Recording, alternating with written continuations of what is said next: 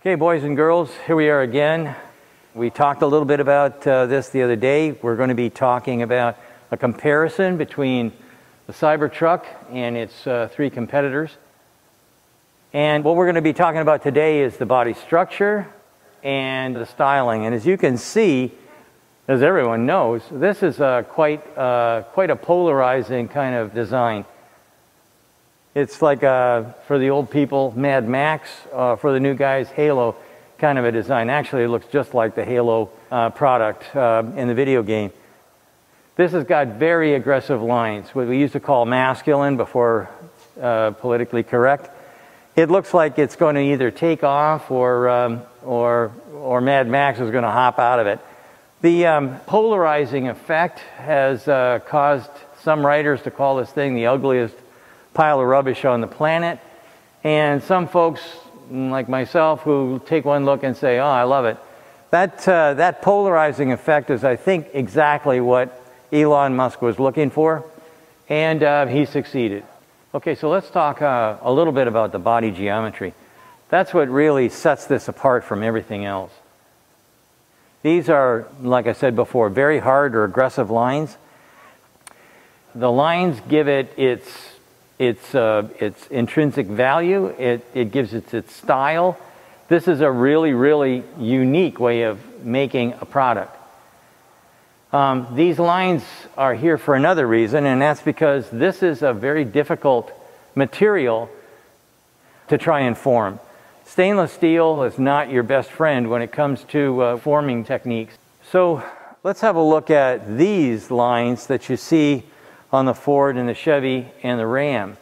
These lines are impossible, absolutely impossible, with anything that's, uh, anything that's hard like a stainless steel, especially if it's thick. Remember too, these are very thin because all they do is basically direct the wind in a new direction and give you styling. This kind of stuff can't be done in a 300 series stainless steel.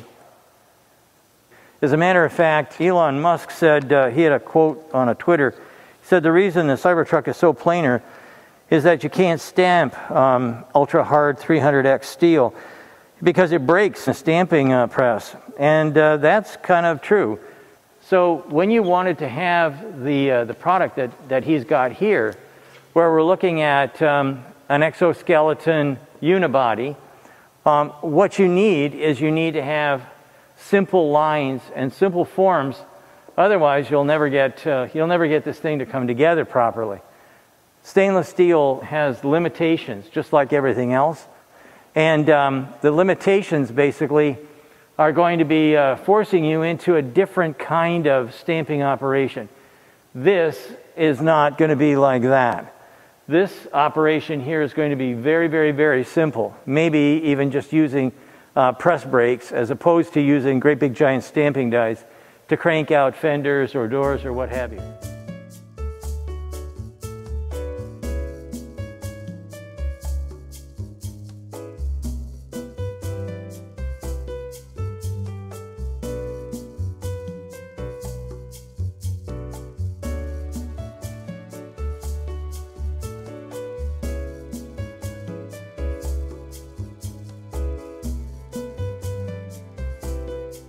One thing I'd like to point out, because people will tell you that this kind of styling that you got here, this is for aerodynamics.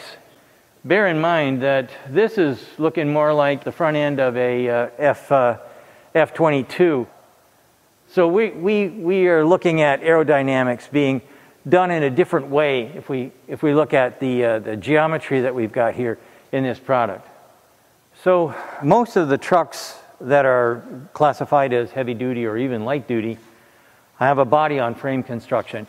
The, the body on frame allows for um, independent movement between the uh, cab and the uh, actual box. The reason for that is because these trucks are made for work duty loads and they go off road and, and so consequently that twisting action in the old days anyways helped out. Um, since we've got modern suspension systems, it's not as important, but it is what it is. So this type of construction has, uh, as you can see here, quite a number of, uh, quite a number of pieces. Let's go and have a look at a, at a unibody style truck. The only one really that, uh, that we can talk too much about is the Honda Ridgeline, which really, from there forward, is a Honda Pilot, and, uh, and they cut that off and turned it into a pickup truck.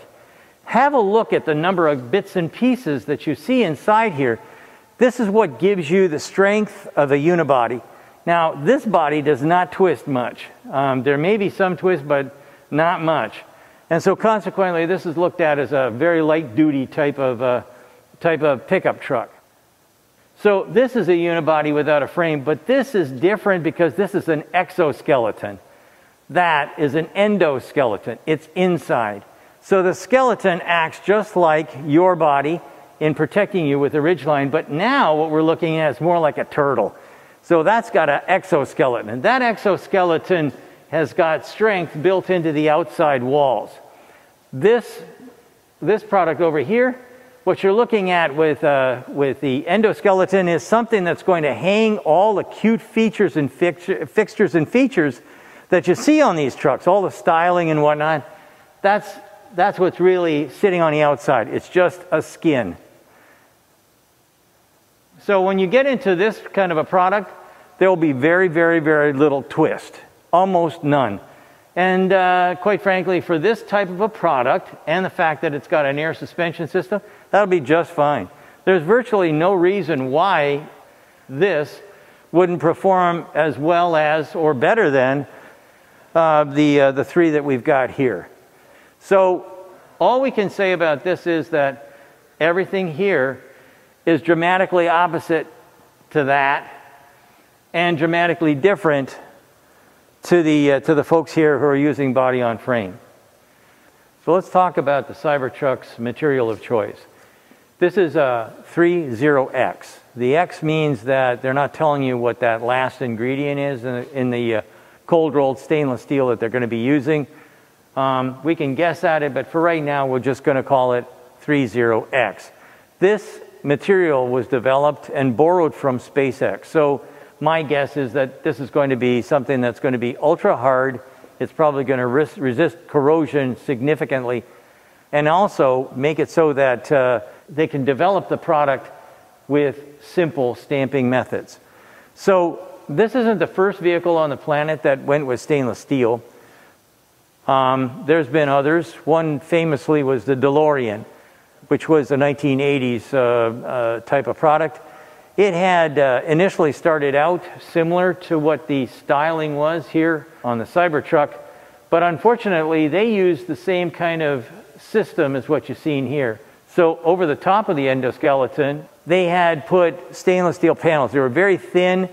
Um, they had, in many cases, a plastic backing. It was a disaster and a miserable job to try and make happen. And the reason I know a little bit about that is because I actually worked on the DeLorean and uh, it was a miserable experience, to say the least, because I was on the end of the program. The program was already over, it was in production, and they were trying to make things happen. The reason that DeLorean went with the stainless steel was the same reason that we see the, um, the stainless steel Cybertruck. And that was to try and figure out how to eliminate the 500 million plus that you're going to have to spend in order to get paint. Okay? So the experience that, uh, that we've had basically with stainless steel is if this is truly done similar to what they've got here, they will not need paint. And we already heard about what I had to say about paint. Just skip it. I'm not really interested in doing paint and definitely not interested in chrome if I don't have to do it. So this, this idea right here with the exoskeleton using the stainless steel and making it so that it's uh, basically a cost save, a cost save in that uh, I, my, my tooling and the simplification of manufacturing has been, has been helped out. And quite frankly, all this can be melted down so it's recyclable. So green, if you like. Okay, so now we're going to talk a little bit about tooling, and as many of you know, um, that's where I started out. I was a tool maker. I used to work on dies and molds and stuff like that before I got into engineering. But you don't have to be a toolmaker or an engineer to have a look at this simplistic kind of design. And think about, okay, what would I use to make these parts? Well, I'd be cutting this out maybe with a water jet. I'd be probably taking this, this hard line here and bending it in a simple brake, um, I would probably be looking at very, very little time to develop the design because, quite frankly, it's not going to be a big deal to design something like this for, uh, for, uh, for structure and for crashworthiness and uh, qualification and the on and on and on. Okay, so this is kind of like simple and less expensive. And that's the Munro mantra. When we design products, we try and make it so that they can be as simple as possible. We try and eliminate as many parts as we possibly can. And we try and get rid of fixtures and functions that really don't add value to the customer. So when we're looking at something like this, this kind of follows almost every design rule that Munro uses when it teaches how to design for lean. So anyway, so we look at this and we say, well, what about some of the features that may be a bit tough? Okay, so there are tricks, and one of them is uh, laser etching. And you put a laser edge on the back, and then you come down and bend it, and it bends nicely all by itself. So the next thing you'd look at is what about welding? How, how, do, I, uh, how do I put this thing together? Well, this is stainless steel, uh, probably 100%, and that means that you're going to be using TIG, uh, tungsten inert gas welding. And now, that's tough for operators to do, but, um, but welders, welding, welding, I should say, for, for this product is probably going to be done mostly by robots, and robots like uh, TIG. So now let's talk about uh, a little bit about the complexity that you'd see here versus the complexity you see with the Honda Ridgeline interior, the endoskeleton. Have a look at that. Okay, this is uh, hundreds of dies that have to be made in order to make this all happen. This costs millions and millions. In fact, in some cases, we've seen them billions because they have three, three sets of molds, and, or dies rather, in order to make this stuff. So you're talking tremendous amounts of money. And then when you get all done with that, hey, what are we going to hang on top of it? I've got fenders. And remember, we talked about Class A surfaces before. These are not cheap. These, these dies are not cheap. And then they've got to be painted. And then they've got to be installed with nuts and bolts and whatnot. All that stuff disappears on the Cybertruck. Look at all these fancy little doodads that they're sticking on the front. Well, that stuff all disappears as well because that thing is making everything disappear. Also, with the exoskeleton, a lot of that stuff for sensitivity as far as, uh, as, far as damage and whatnot, that all kind of goes away. And what, uh, what we think is that as you move towards something like this, those little serviceability issues, you know, somebody uh, releases their grocery cart or whatever, and it hits the side of your car. Well, with one of the uh, one of the conventional vehicles, you've got a paint chip. With this, you got a badge of honor. I drive a Jeep. Anybody that doesn't have uh, anybody that doesn't have scratches on a Jeep uh, basically isn't a real Jeepster. We people who drive these kinds of vehicles, something that looks like this, like I said, uh, uh, Mad Max kind of a car. This kind of a thing is totally different mentality than what I have with my truck, which is my pride and joy kind of a thing. I think, uh, I think that this is probably one of the biggest things going for it is the fact that if it does have a, a, a small crack or a small scratch or, or even a big one, all it's going to do is make the, is going to make the, uh, the, the truck look better. Okay, we talked a little bit about the, the, the, the rationale behind how uh, Tesla did what they did and why. And now what we're going to do is we're going to try a little comparison between what the Cybertruck is probably going to be doing against its competitors. And we're going to start off with the Ford F-150. This, uh, this truck is uh, pretty innovative. Um, it was the first truck to come out being aluminum. It's got uh, lots and lots of uh, lots and lots of followers. They they sell 800,000 of these vehicles a year, and uh, quite frankly, at the beginning, uh, they had their fair set of challenges. The uh, the car the car had lots and lots of uh, little issues when they first got it out, and their and their their competition jumped all over them.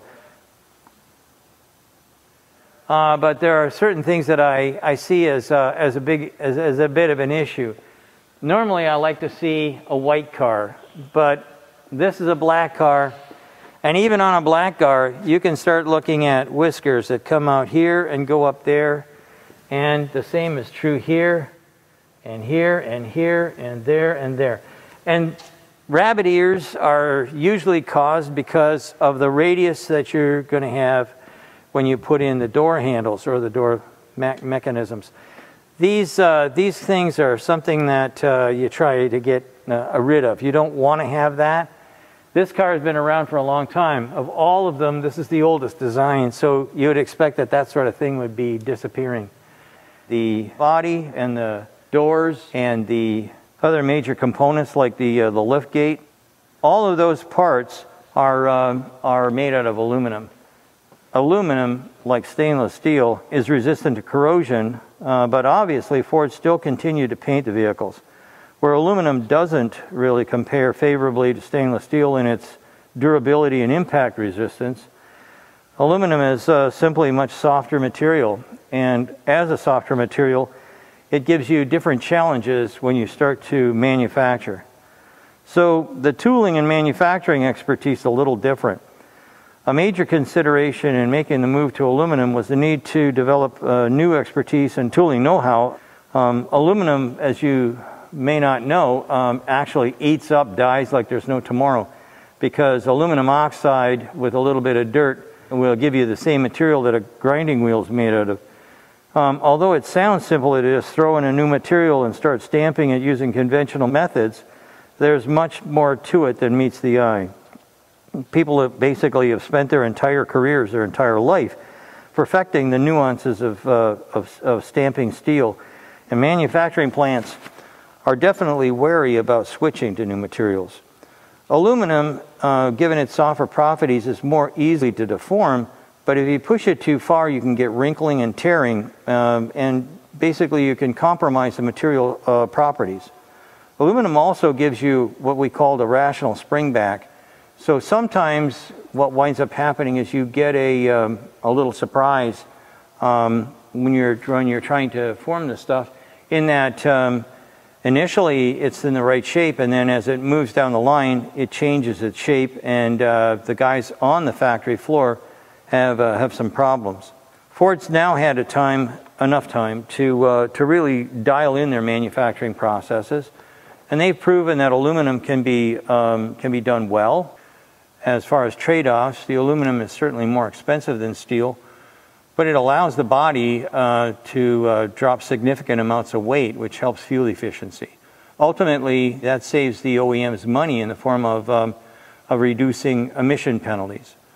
The Cybertruck, uh, by contrast, will be the, using the heaviest material of all with that 30X, ultra hard stainless steel. That's almost three times as dense as aluminum and um, it's also quite a bit more expensive. Okay, let's look at the Chevy Silverado. GM has been around for a century, cranking out heavy-duty, light-duty trucks, similar to what we've got here. Their material of choice has always been steel, but lately they've changed their mind a little bit. This is a relatively new design, and uh, what they've done is they've done all the closures basically in aluminum. So the hood is made out of aluminum, the doors, both the doors are made out of aluminum. And then we get back here and we find that uh, the tailgate is also made out of aluminum. Now, the body or the, the base of the box is made out of steel. However, it, um, it's not always the same. So what we've got is the Chevy, but it has a sister called the, um, called the GMC. And the GMC decided that they were going to try something a little bit different. So they've got a, about an $800 option here to get the um, what they call the Carbon Pro box. And the carbon fiber is here, here, here, and here.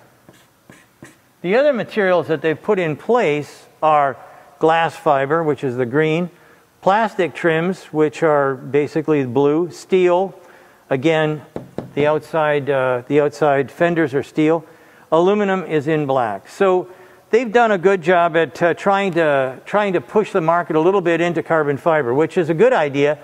I've always felt that carbon fiber for a box would be the right thing to do. As a matter of fact, if I was going to make a suggestion, I would suggest that Ford skip the uh, aluminum and go to a carbon fiber box because it's a lot more rugged.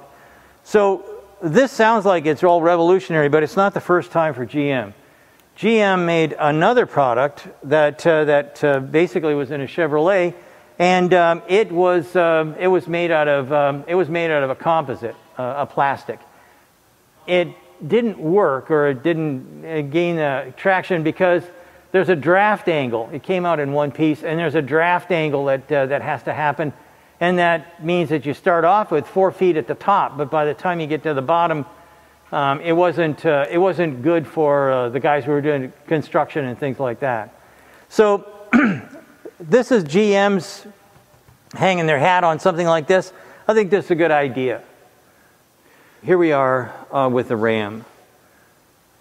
The Ram uh, actually is, uh, is my favorite. It's probably my favorite for a lot of reasons, but for the most part, I like the features and functions that this has got that the others don't have. Ram decided that they were going to put their money on those features and they skipped some things that were a little different or, or maybe thought provoking for other places. So, what they've done is they've, they've given us um, an aluminum hood. The tailgate is also aluminum, but the doors, the doors are still steel. So, um, the reason for that is because uh, they wanted to put their money where people were going to see the, the, the features and functions. This is one uh, truck of the year a couple of years in a row. And, and that's because it, it really inside is a lot more feature functional. So this product is uh, conventional, similar to what we would see over on the Silverado. Um, it's made out of steel, and, um, and, but they've done some different things, and we'll talk about those later on the inside. So let's, uh, let's summarize a little bit about the difference between the Cybertruck, which we look at as its own separate island, it's different than everybody else. Um, the Cybertruck is into territory that other people really uh, have, uh, have no desire to get into. And as I mentioned, I really don't think it's a true competitor to these, uh, the other big dogs here, but they're going to have a few probabilities of having problems. Um, one is I don't know where they're going to get all the stainless steel they need in order to hit the kind of targets that they want for sales. It's going to be, it's going to be a challenge for them, but it also creates a brand new type of world. Um, no one's done this type of a design ever uh, that I know of, except for military type of vehicles. And, uh, and quite frankly, um, you got to applaud them just for the, the fact that they're going to be doing something that's inventive and new and different. Um, they're their problems that they, are going to have are probably maintaining some of the uh, tolerances and dimensional stack ups that you're going to have. Trying to avoid uh, spring back, which is something that you do see when you're fooling around with, uh, with stainless steel. But if they pull it off, there's a lot of advantages. And again, the biggest one no paint job. When you're trying to start up a, a, a, a car or a vehicle of any kind, you have to look at whether or not you're ever going to get your money back. Your investment costs are the things that you have to think about. And with this product here, it's going to start off with simple tooling. Um, and then on top of it, it doesn't have to have a half a billion dollar paint job. I think that avoiding paint is a, is a great idea because really now I don't have to sequence, sequence colors. I, I mean, there's a thing called an oddball line. And uh, that, that oddball line will never be needed in this kind of a product. The body shop is going to be considerably smaller, and we're going to be looking at, uh, at easy matches. easy matches for, um, well, side mirrors, which it doesn't have, door handles, and things like that. All these, all these different functions and features that uh, kill you on the assembly line are, are missing on this product. So We've got, uh, we've got uh, uh, quite a bit of competition that we're going to see here. With that, I'd like to uh, basically close off.